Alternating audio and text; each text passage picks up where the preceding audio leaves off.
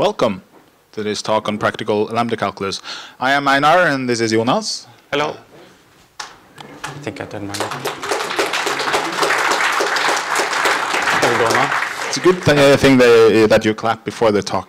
Uh, So we so have uh, I think, yeah, there, there's the author. Uh, I think um, there are some talks about lambda calculus, but it's usually from a theoretical perspective, uh, which is kind of uh, then a challenge for, for the enterprise programmer who comes back to work convinced that lambda calculus is the way to go, but has sort of no, no practical means of doing so. Uh, for instance, there are very few IDEs that support lambda calculus natively. Uh, so to correct that, uh, Jonas has made one. So, yeah, so the GitHub repo is here with some instructions. Uh, so this can kind of set up Emacs to be a Lambda machine. And we started by evaluating startlamb. And it says meep, meep, meep. Right, so maybe we should say this is now Emacs, and then you have uh, something So standard there's ML. some thing. standard ML running in the background uh, Right. with a Lambda interpreter. And we can, and there's a bunch of instructions, and we can Right, so if, if you sort of want to type along, you can, I suppose, go to the GitHub repo and download it and stuff. But So at this point, we can do things like this, and it will evaluate Right. it for us. so that was okay. Hooray! Uh, what happened there, though? So we wrote Not entirely clear, I uh, think. lambda expression, uh, Right. lambda f dot f, which means that f is the parameter Right. And f is the function body. Uh, it might be uh, convenient to sort of repeat the rules of the lambda calculus at this point. Uh, so the lambda calculus is, is very simple. Yeah, it kind of has three parts that you build expressions from. Right. Uh, so you have uh, variable references, uh, which looks like you know an x or an f or Yeah. a longer word. Mhm. Uh, and then you have lambda abstractions. Right, so that would be your function. Something. Yeah, so these are kind of anonymous functions. Right. Mm. And then you have a third rule. Uh, function applications. Right. And then you have like two expressions, uh, which Right. means you call this function with this argument. Okay, so that's that's very simple. And then you have a computation rule which says what? So if you have a lambda abstraction, and that is the function part of an application, Right. You can take the function body like this, and you replace every occurrence of this parameter variable, the x, within this expression. Uh, Okay, that's a little bit abstract. So maybe we should we should look at an, uh, another example. I think. Yes, we have like a kind of simple example here. Uh, so we do lambda a, lambda b, lambda c. Right. Uh, So that would be three functions. So it's a function that returns a function that returns a function Right, that yeah. returns a function. Uh, we can think of it as a function taking three arguments. Yeah, but but in reality, it's like single argument functions. Yeah. Yeah. Uh, so we can see how it works down here. We kind of pass the foo into the first lambda, Right. and then we replace all the a's in here. So this a is replaced with this foo. That would be all the a's. Yeah. And then we pass the bar into the b. Yeah, but you have no b's, right? Yeah, so nothing happens. You can just kind of strip off the lambda b bit. Right. and we pass the quarks into the lambda c. So all the c's are replaced with quarks. And at this point, you're done. Yeah, so now we get this, uh, it evaluates down to this expression here, which is very useful. Uh, yes.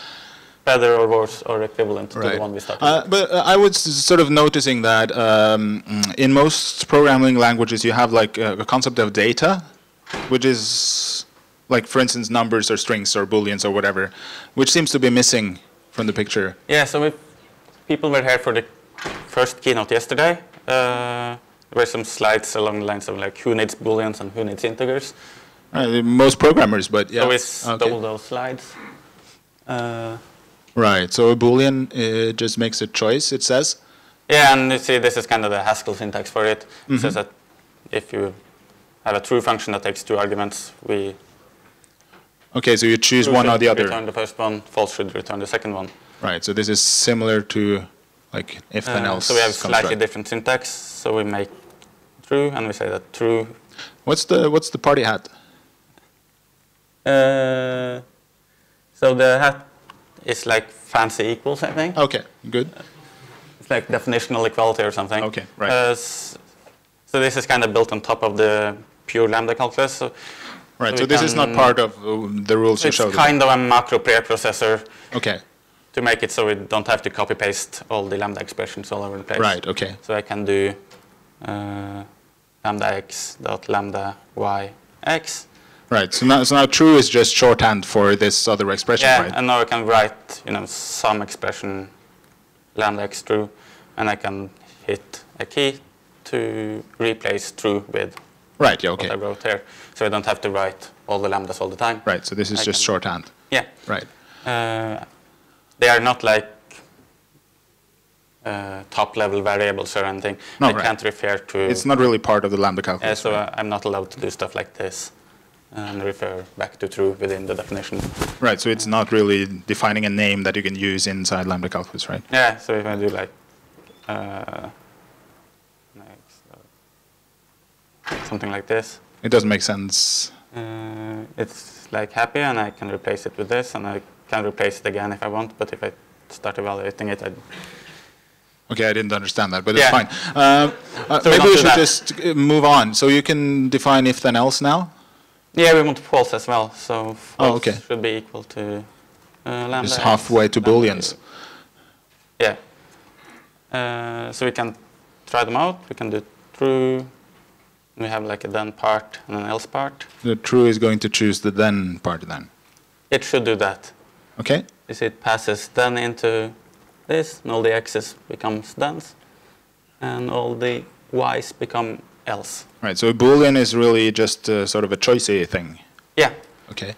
Uh, false then else. That's It's going to choose the else. Okay. Excellent. And So now you have Yeah, so in the keynote they show that then you can make of an if then else thing, and all it does is r- really pass its argument to its argument. It's kind of confusing that you're passing arguments to a boolean, but still, uh, we can work with that, I think. So lambda bool, lambda t, lambda e, Right, the t would be the then. then else. Right. So this is kind of That's smiling, so that's that good. John Hughes did yesterday, uh, Right. but it's slightly different syntax. So the function application part is the same, but we have like lambdas instead of slashes. And Okay, excellent. So now we have booleans. Uh, what about numbers? Do you have numbers also? yeah, so we had like these slides. Uh, Right.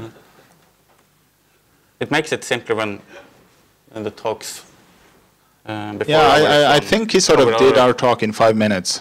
Yeah, so that makes it easier for us. Yeah. Ah, I can't write. Uh, so two should be this. Right, so it's two because there are two f's, is that correct?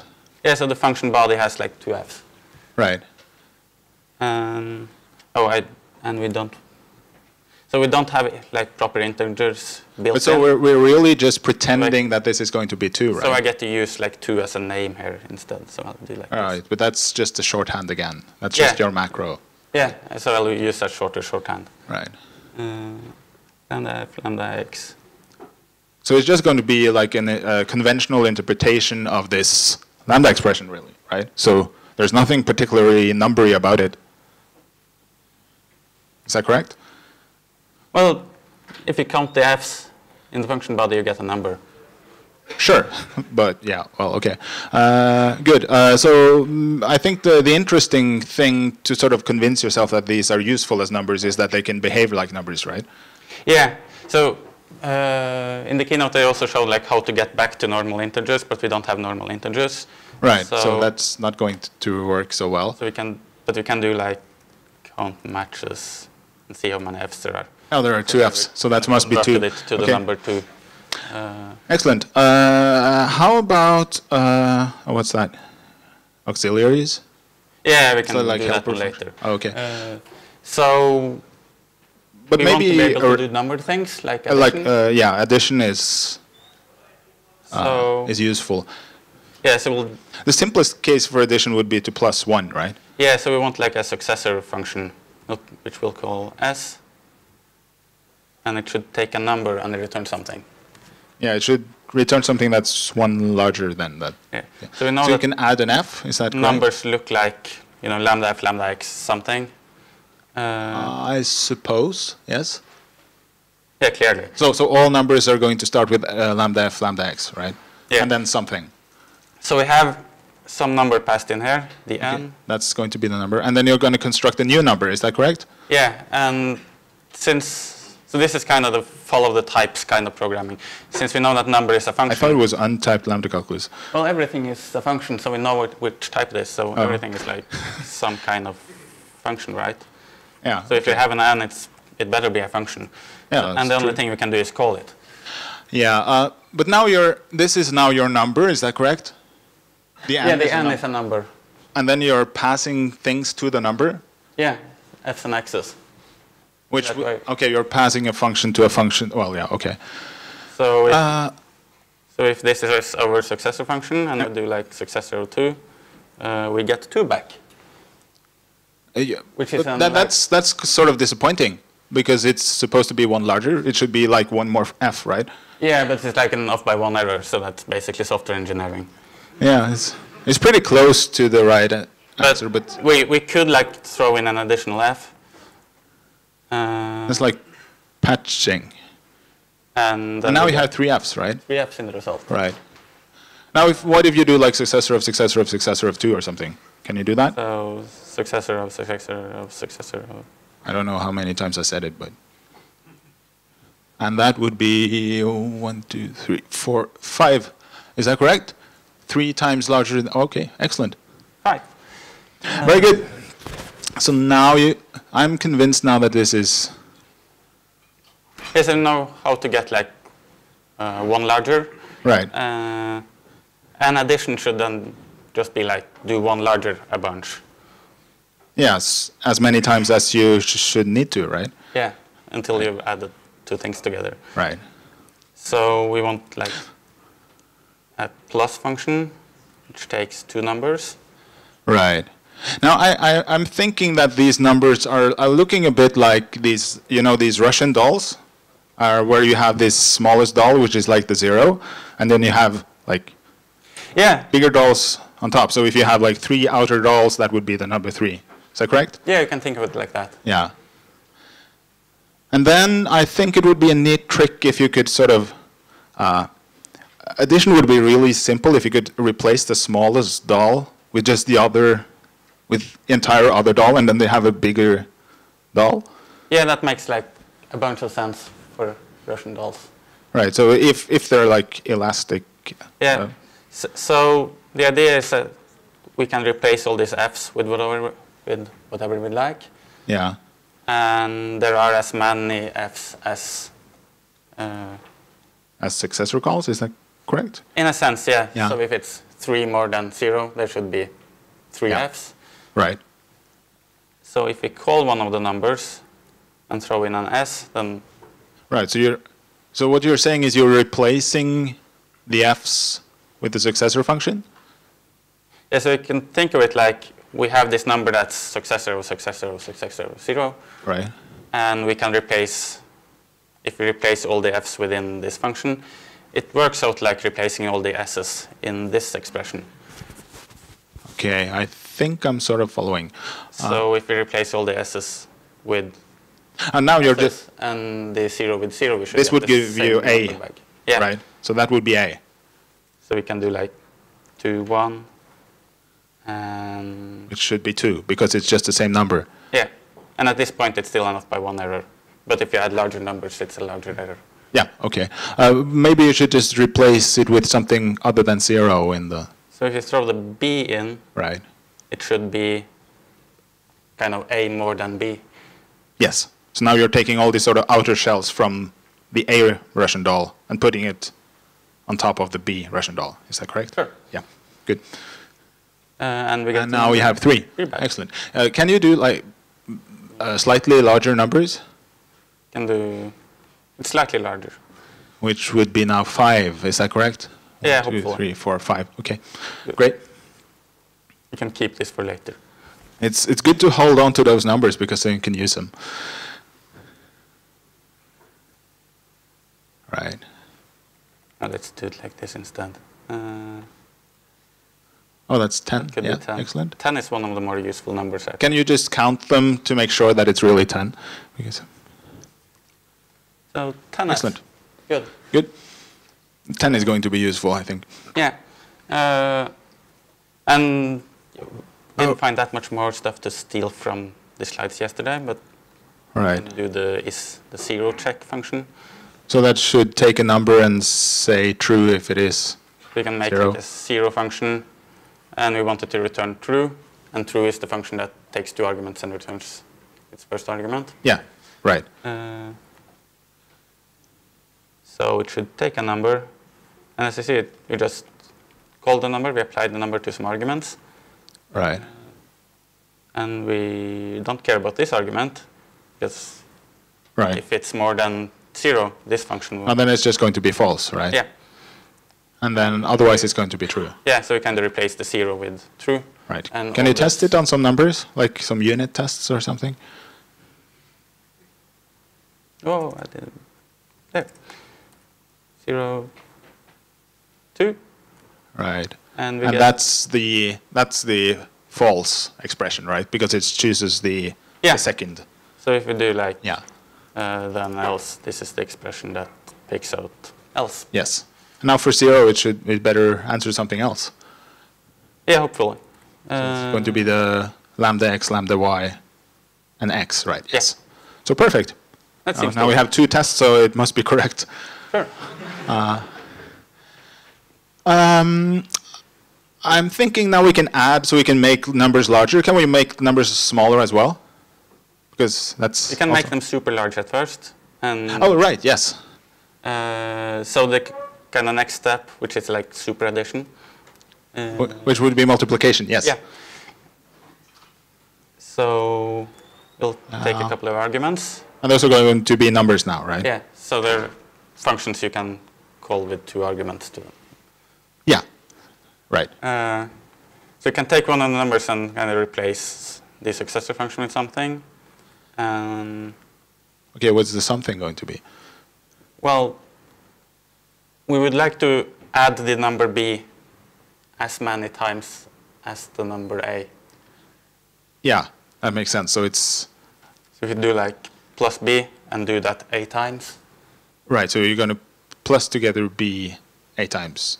Is Yeah. correct? Yes. so hopefully, Right. Can you try with some of the? Oh, that's a very big number. it's the largest natural number if it Right. works out.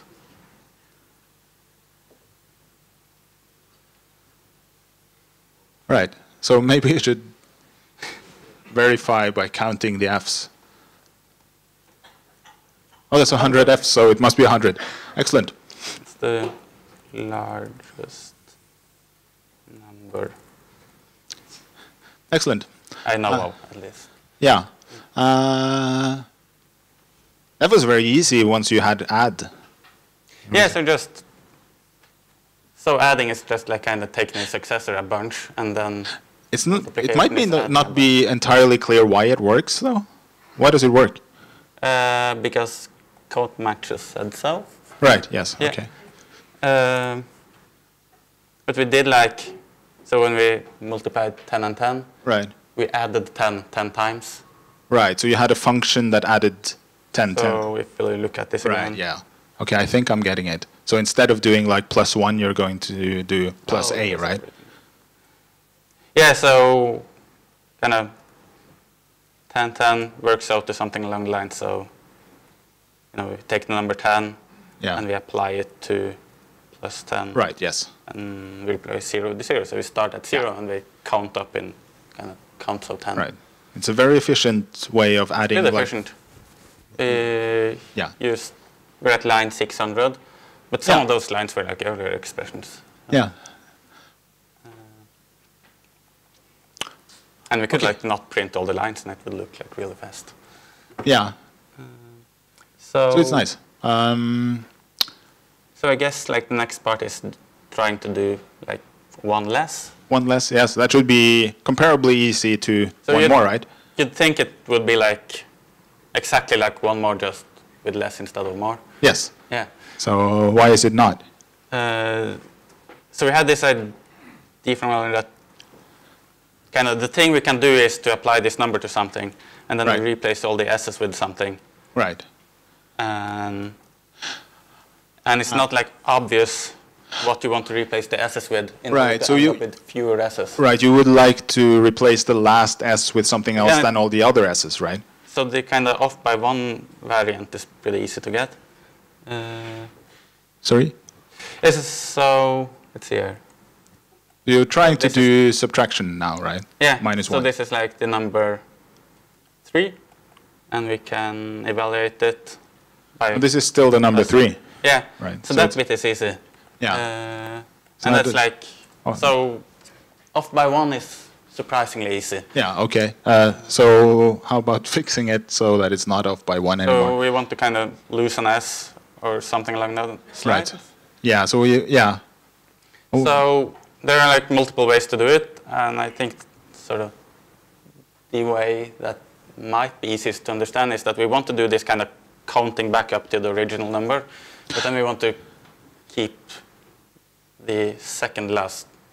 okay, so you're going to need a data structure to do that, right? Yes, we want to count up and keep track of like which number was the last one we used, So it's like a hack, almost. something along those lines. Yeah. So we want to do kind of instead of counting like zero, one, two, three, we want this Yeah. like some data structure which holds two numbers, and we want And to that's very clever. one, two, three, and keep, Right, because then you keep can... the other number for later. Right. Well, later would be when you want to sort of So when give the count it up final to the original number, you can. And then you can say, the other one. aha, I have this also. Right. Yeah. Yes. Uh, So then you need these data structures, these pairs, right? Pairs. So And a pair is going to be something with a function, I, I suspect. yeah, and it needs to take two arguments. right. Uh, And then it's going to return something return that a function. It's going to return a function, and that function better behave like a pair then. And what is a pair? so I think a pair is something that you can take the first So, part of and the the obvious idea is this write fab because it's like, That's fabulous. Yes. uh, and it should like work out as well. Okay. So uh, why is this going to be a pair? That takes a function and applies that function to the two arguments you pass to the pair. Ah, right. And then you can sort of either return the A or the B, right? Which would be Yeah. So we can show what happens if we apply it to foo and bar. Uh, we get right. So you have a function Right. and those two values that, it, and this f could choose between these, right? yeah. So if we pass in another function now, we can pick out foo or pick out bar. In Right. So you could create a first or sec uh, and second So function, I suppose. so now this function kind of holds on to foo and bar for us, and we Mhm. can pass another function in. Uh, and if this picks out the Is that argument- true?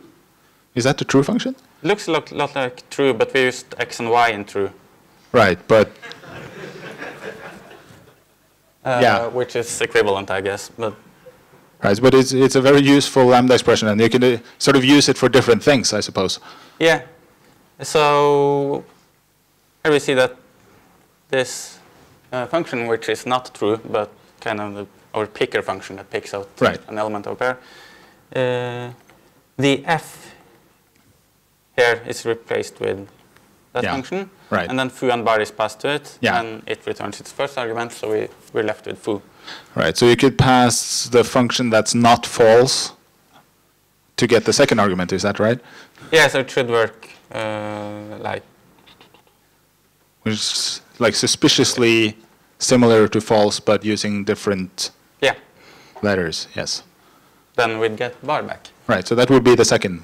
Yeah. So if we wrap this up in a function again, Mhm. uh, we can make like a first function that takes a pair and picks out the first Yep. element. Uh, so we need to apply this to the lambda a, lambda b, b a function, Yes. and the second function should be the same but pick up the other element, lambda a, lambda b, b. Right. And and the reason we're doing this is still that we're trying to subtract by one, right? Yeah. Okay. Just just making sure. Yeah. Uh, Yeah, no, we're, we're not losing track of that one. right. Okay. Uh, and we can do like second O pair foo bar, and it should pick out the bar. Right. Yes. Okay. Perfect. Uh, so now we need, I suppose, this count up of pairs. Yeah, so we Right. want to like instead of so we have this number with a bunch of successors, and instead Right. of counting up with successors, Yeah. we need some function that kind of takes a pair and counts up the first element and copies Right. Yes. Uh, and the old number right. to the second element. yes. Uh, so we can do the slide again. Uh, so we want Right. this the function that kind of Right. takes something like this and turns it into this, or takes something like this ah, and turns it into this. Yes. Uh, so we can call it. It's a helper function for so we call it help. Right. Uh, and it takes. Ah, It takes a pair probably, and then it. and we want to construct a new pair, yes. and we'll take the successor of the first part. Of the original pair, and then Argument pair. just the first And- part. Then we'll Right. the first yes. part without incrementing it for the Right. So now we're losing the second part in some sense because we're not interested in in it when we're just counting up, right? Yeah. So we can try it, making a pair of zeros. Yes. Uh, So we should have now a pair, which. Right. So this would be the number one, and this would be the number zero. Yeah, Okay. Perfect. and we can call it a bunch of times. If you call it three times, we should somehow be able to pick out the number two later, right? Yeah, we should have now three and two as a pair, right? Is that correct? So, yeah, And do we? Now that's the number three and the number two. Perfect. yeah. So now if you could just So now pick just out the second one. Yeah, so we could. So the idea is that we take the second one of this, Right. and, And that would be number two. We just need to kind of wrap this up in a function, Yes. the predecessor function, which takes a number. Yes. Uh, want to count up using the help helper function. Right. So now you're passing the helper function to the number, right? Replacing the successor successors, with uh, with the helper function. Yeah. And instead of zero, we start at the pair containing zero. Right. So you're, re- you're replacing the zero with a with a zero zero pair. Yeah. Okay. We can do like predecessor 10. This is not going to be the perfect predecessor function, I think. It's pretty perfect. But you're not picking out the second element, are you? Oh, right. So it's. So it's almost perfect. Yeah. Uh, yeah, so we forgot that we want like only this bit, Yes. uh, Exactly. not the whole pair. Right. Uh, so predecessor, Right. You're going to want Okay. second from that. the second element instead. Yes. That's twice as happy. It was happier before also. Yeah, it's, but it's more happy now since there's two smileys. Yes. Uh, oh, what was the number we started with? Started at 10. And now we have one, two, three, four, five. s- Oh, can you just count them? It's it's more convenient. Nine. Nine. Perfect. Yeah. Excellent. So now we have the, the predecessor, and we can generalize that. Yeah, so we can do subtraction. Uh, subtraction. So subtraction. Uh, say you wanted to subtract like a hundred, and then subtract ten. Let's do that at the end of the talk in case everything breaks down. Oh, okay. Yeah. Uh, so maybe we should implement it first. Yeah, Because it seems you would need to count up all the time, so maybe it's not terribly efficient. Yeah, so uh, we're going to implement subtraction kind of like we did with uh, addition. Yes. So we're saying that like b times we want to Do the predecessor function. take the right. predecessor right. and start at a. So you start at a Right. and b number of times to take one less. Yes, because b is the number you want to subtract. So if you do like 10 minus 2, Right. So you're going to do the predecessor two times on the number 10. yeah, Right. which, and as you were getting to, that also means it kind of counts up to the number Yeah, so it counts up to 10, and then it counts up to 9, and then it And then picks it out picks the... out eight, Yeah, yeah. right, yes. So it's not the most efficient. Right. And we get But it's correct, right? Yeah. So, it works. Mm. Yeah, and since we started with the pair of 0, 0, we- like if we Right. 2 and 10. Oh, that's probably not going to work so well. It's going to be 0, probably. yeah, which is so- like the closest natural number to the correct one, Yeah, I guess. 2 minus 10 is 0, that's fine. Yeah. Ah. Mm. So Right. yeah, I think we kind of Now we have booleans and numbers and a little bit of arithmetic. I don't think we're going to do division. No, we, we'll skip that one. It's, it's, it's, I think it's left as an exercise for the reader. Yeah. Um, Right. So what else can we do? so we have some stuff on lists. Right. Uh, Lists are nice. I think we have like slides, uh, Right. which shows that lists are a lot like numbers. Lists are kind of similar to numbers because it has the same structure, right? Almost. Yeah, but you have these things, Yeah. which are like the list elements that you need to keep on to. Uh, Yeah, so numbers are list without junk in them. Yes. yeah. Right, so they're very much similar. So cons is kind of like successor, and this nil empty list thing is kind of like the number zero. Right, so have all list- this stuff in the middle. Right, so list has things and uh, sort of a count of things, but the number has just the count of things or something. Yeah, just the count of, I guess. A count of no things. Yes, Yeah. that's right. Um, yeah, so we want something along the lines of numbers, but with more stuff. Uh, and we Yeah. want to build kind of the constructors, which should be the So you need a cons. yeah, we need like the empty list, which we'll call nil. Right. Uh, That's sort of similar to zero. It plays the same role Yeah. as zero. so we'll just write the zero function, but with different names. Right, now it's suddenly nil because you're using different it letters. It also looks a little bit like false, I guess. Yeah, uh, that's, Uh, that's true. So if if you take like Sorry a close look at it, it it does call like the c is called zero times on n. Yeah, Uh, if it was a number, then the number one would be like lambda c lambda n, and it would call it one time on n. what are you telling me now? I'm not, I'm not following. So this looks more like a number than a list, but if you Yeah. throw like some stuff in Oh, right, yes, and drunk, uh, true. Uh, Right, yes. that's clearly more like a list again. That's a lot more like a list, but it looked a lot like a number until you put the junk in there. Yeah. Right, yes. Uh, But the, the C function then must sort of hold on to this junk. Is that right? So you can do like foo. So larger lists should probably look something along these lines. Yes.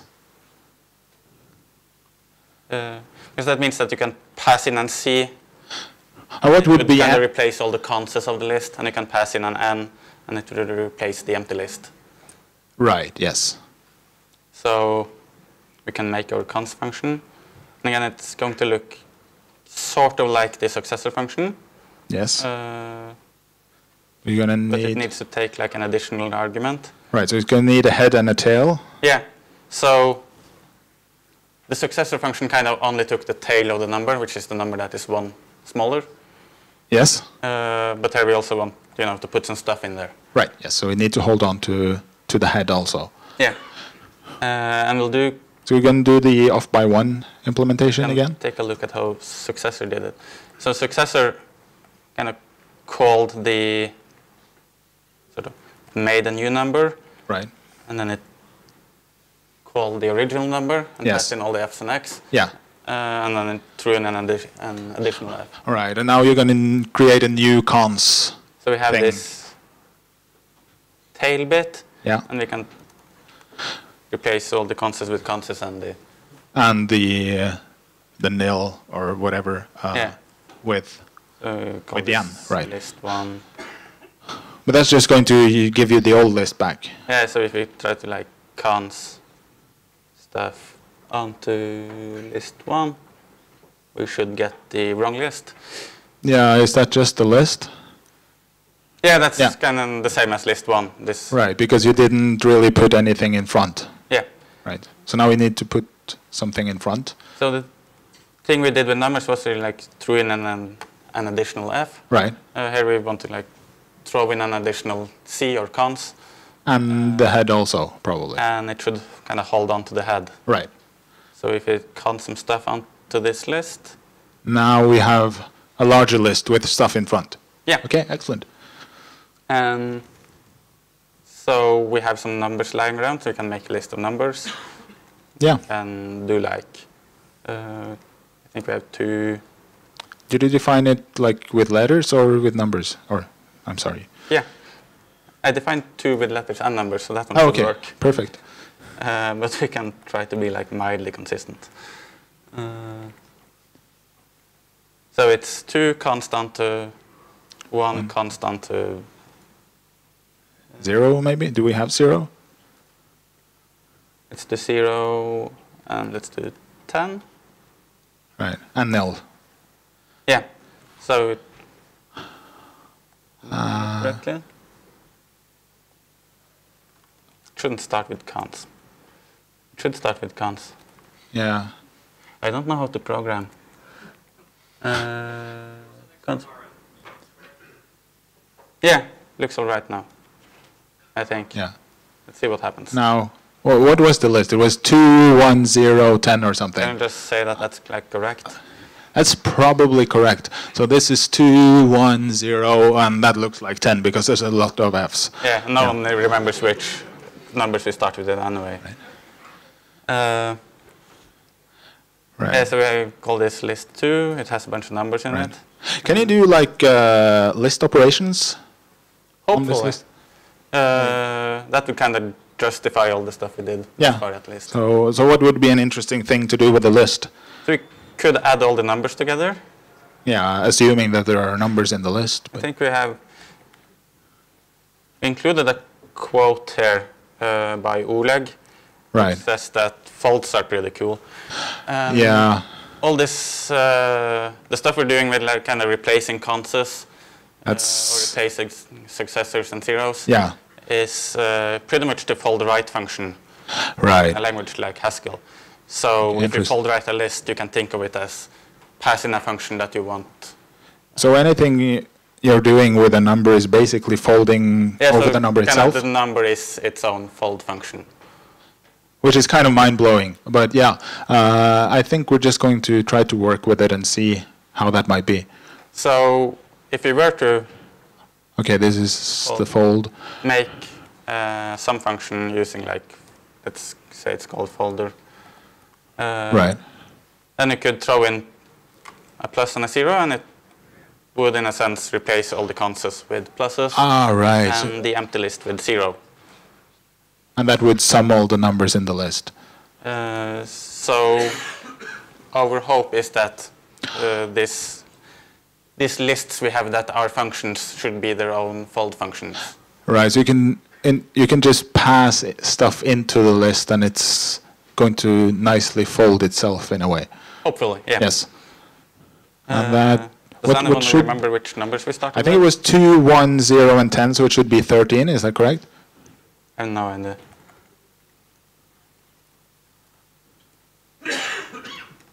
Yeah, I'm Yeah. going to go with go with that. And it's not like anyone could tell if you or the computer was wrong, if it Now, one of us was something else. maybe we were No, you. uh, both of us. Yeah, both of you. Yeah. Um, I have no idea what this is.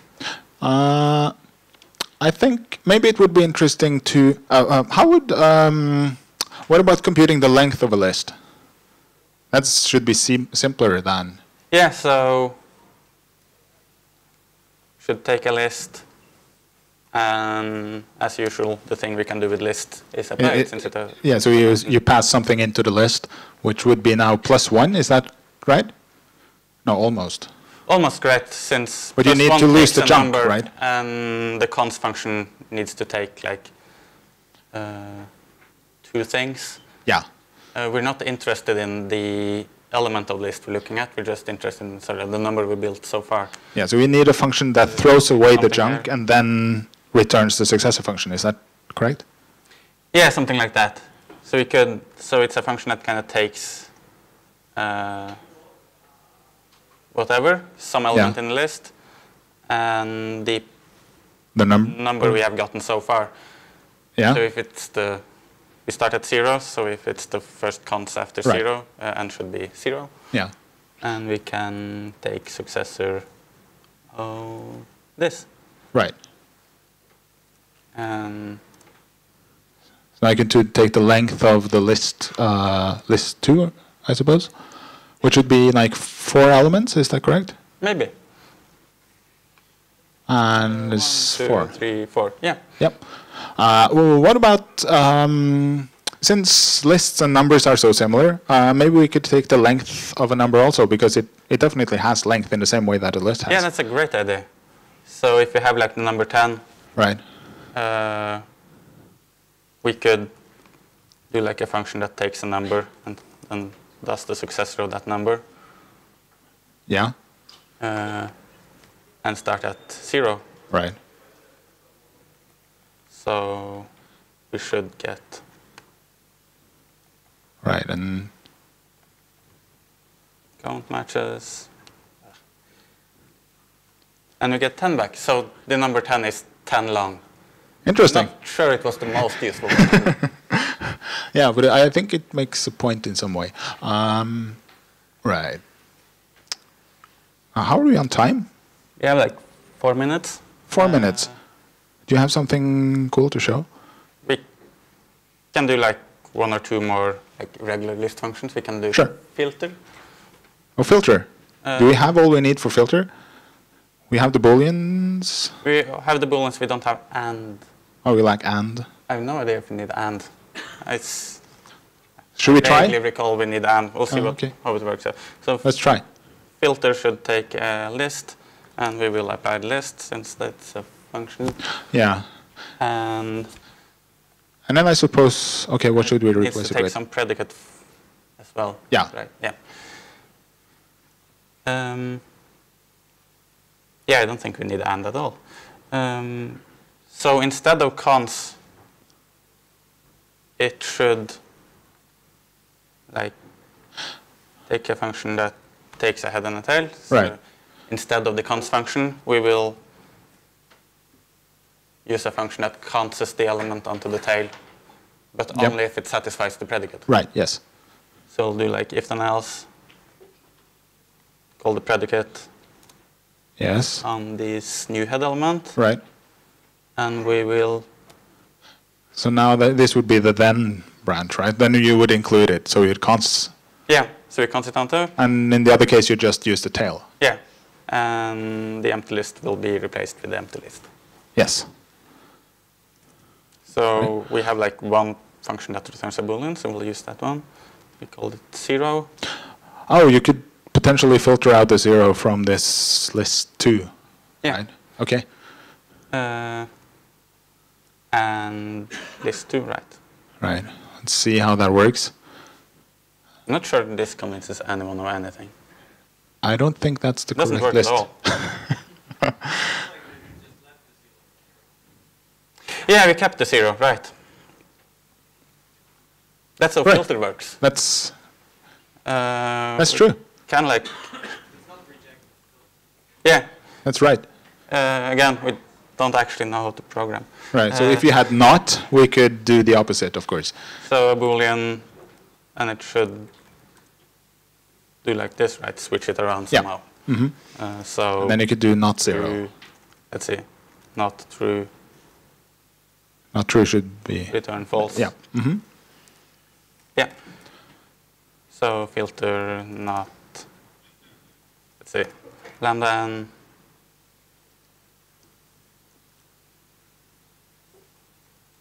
not zero n. Yep.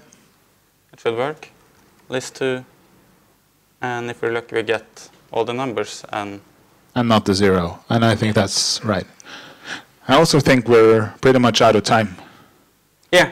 Uh, I guess we have time for one question, but not answering it Yeah. or answering it like That's that's the best kind of and question, I badly. think. Uh, Okay, so we have uh, some time for next speaker to prepare, and you can ask uh, one, two, maybe three questions.